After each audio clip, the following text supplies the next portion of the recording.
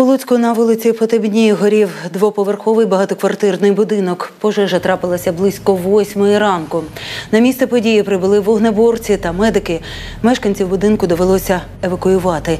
Як виявилося, загоряння сталося у квартирі на першому поверсі. На той момент мешканець оселі був усередині. Небайдужий перехожий, помітивши дим із квартири, зайшов до помешкання, вивів чоловіка і викликав рятувальників. На щастя, обійшлося без постраждалих. Мешканець квартири від госпіталізації відмовився.